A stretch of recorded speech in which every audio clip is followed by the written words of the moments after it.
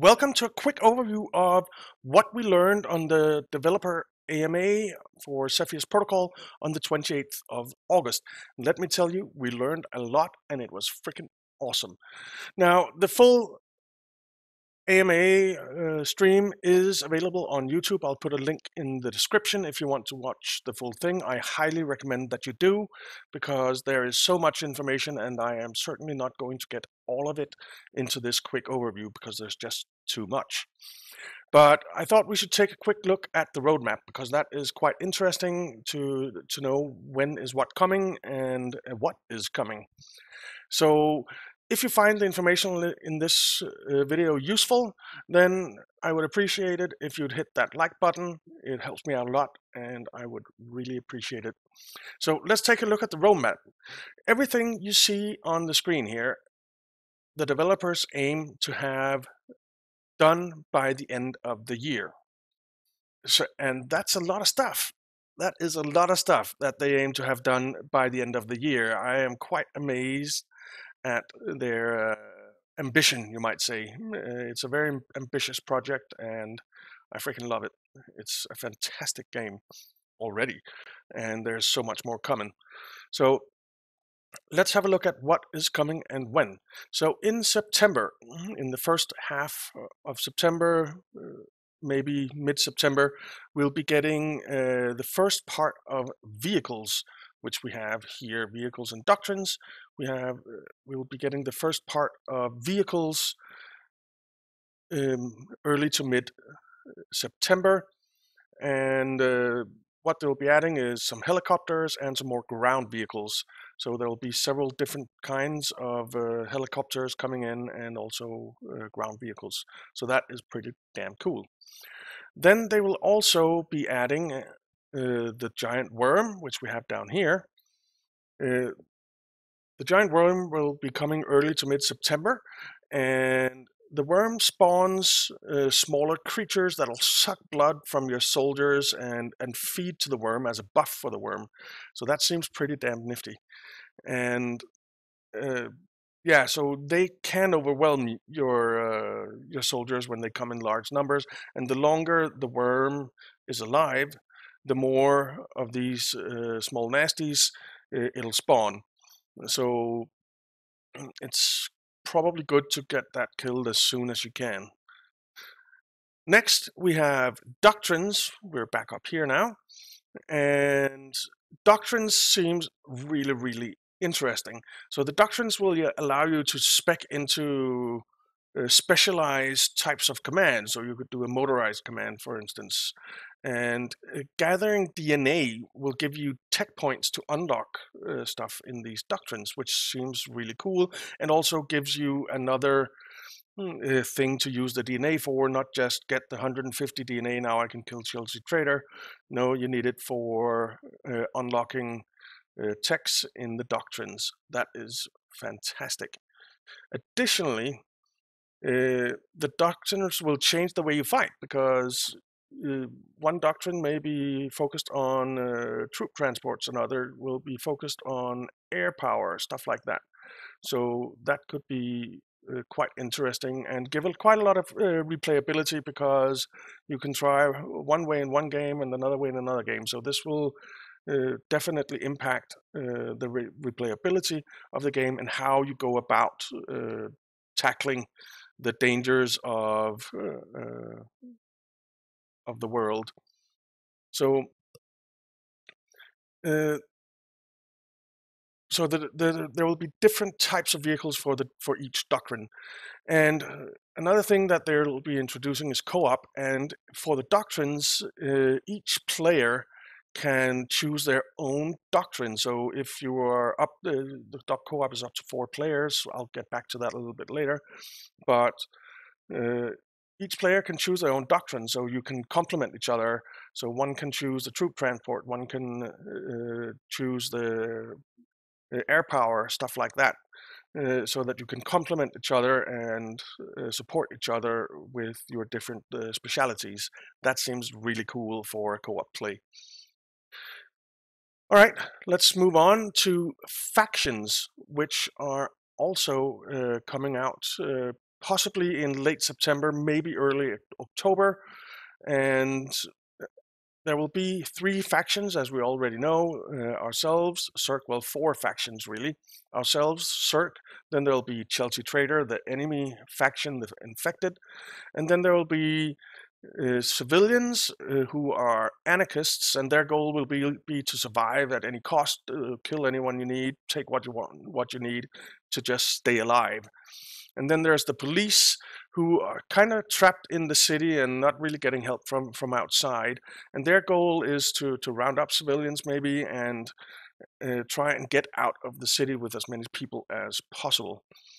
And each of the factions will have their own unique soldier classes as well, so that seems uh, pretty interesting. They'll give you some different types of enemies, and the factions will also.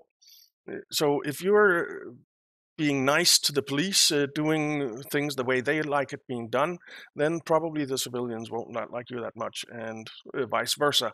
So you might have to choose which uh, of the you might say quote unquote human factions you not infected factions i guess is the right way to say it you want to uh, team up with if any then in october there's actually a Cepheus Protocol novel coming out, which I think is pretty cool.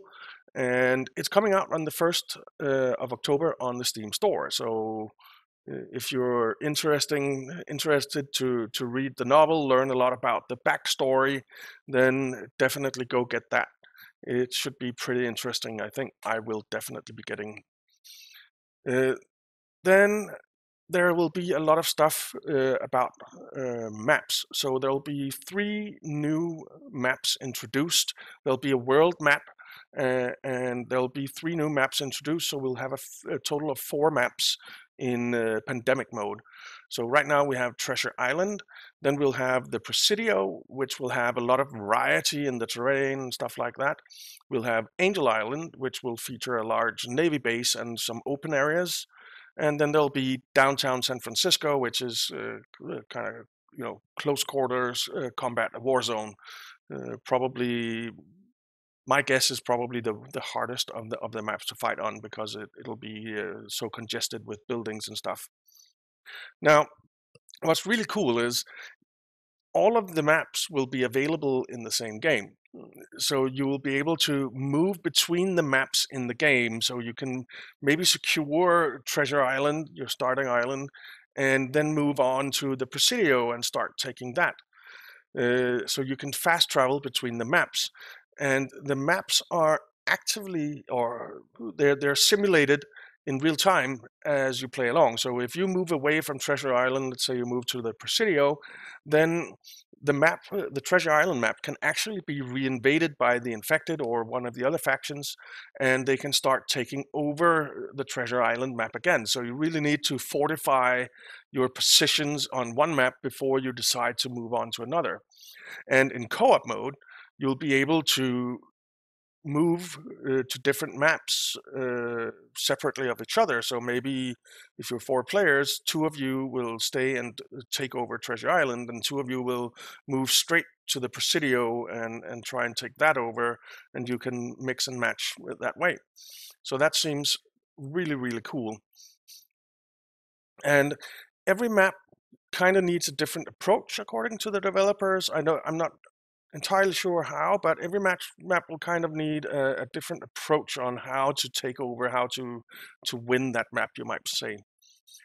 Additionally, uh, the Horde map is being overhauled. It'll be two and a half times larger than it is now, and it will introduce some side missions where you have to go rescue civilians uh, to get a cash bonus uh, and stuff like that. So uh, while the horde is attacking your positions, you have to actually go out of, uh, of your little bubble, uh, your safe zone, you might say, where you have all your defenses set up.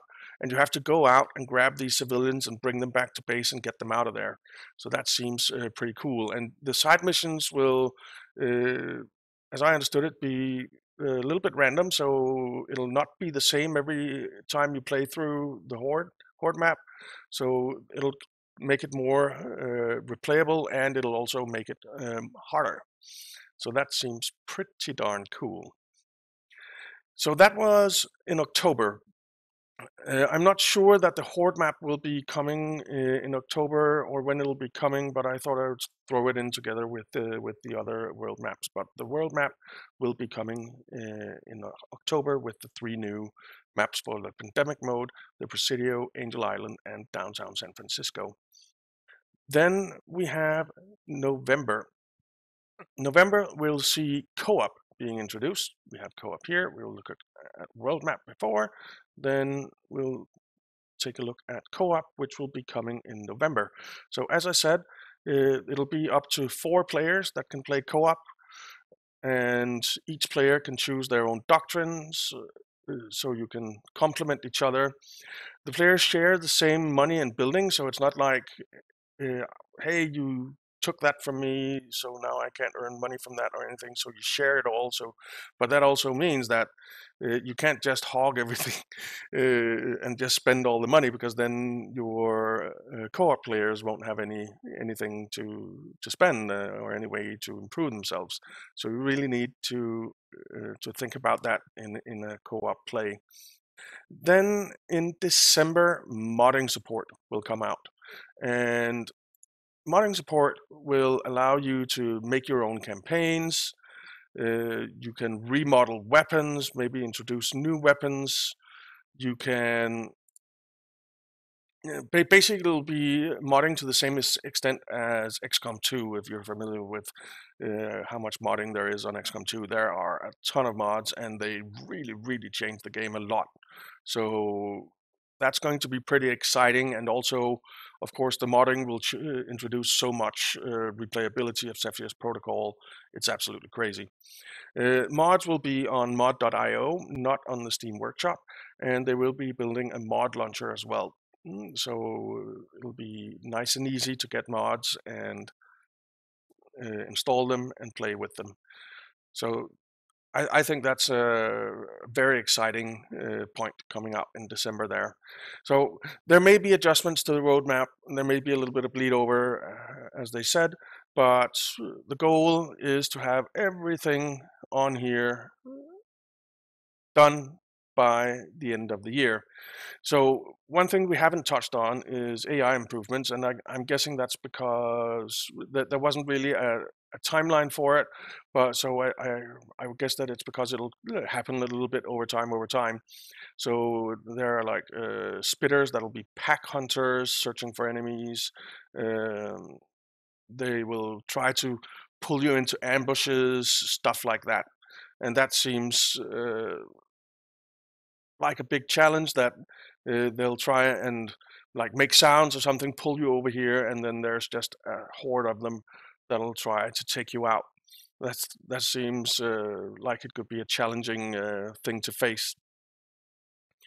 Now, on a more not uh, month by month uh, view as well, there will be new enemy types. There'll be some kind of anti-air um, infected and an artillery infected. Uh, also, there'll be coming uh, kill statistics uh, for the game. There'll be mini events that you can uh, choose to to take part of or not. Uh, these are mini events events in the game. It's not like global events where players take part in it together. It's mini events in the game where maybe a civilian runs over and says, "Hey, can you help me?" or something like that, and then you can choose to do so or not. And this uh, civilian could potentially be an anarchist who wants to pull you into an ambush or something like that, or it could just be a civilian who needs help. Who knows? Uh, you'll also be able to put soldiers on top of buildings and repel them down. So maybe put snipers up on top of some of the higher buildings uh, to help provide cover. Uh, you'll be able to mow down infected with with uh, with your cars. So they're they're working on some ragdoll effects for the animations. Uh, there'll be helicopters that you can repel out of to deploy your soldiers. It, it's all really really cool. It's all really, really cool. And there actually has been an update already on the 28th of August, uh, a little bit after the um, the AMA, I think. They released an update uh, tweaking the infected's behavior a bit. So that's it's going to be exciting to see how that affects our next uh, playthrough as well. So yeah, a lot of stuff. And I have not covered everything, not by a long shot. So I highly encourage you to head over to the the video of the live stream, uh, the AMA and showcase, and and take in the full video. It's about one and a half hour, but it's well worth your time, in my opinion. And uh, as I said, there'll be a link in the description. So that is this for this quick. Uh, what did we learn uh, at the AMA? So thank you very much for watching. If you found the information, uh, information useful, I'd really appreciate a quick tap on the like button. And if you're new to the channel, why not hit the subscribe and notification bell as well so that you get notified when new videos comes out. So thanks for watching, guys. See you next time.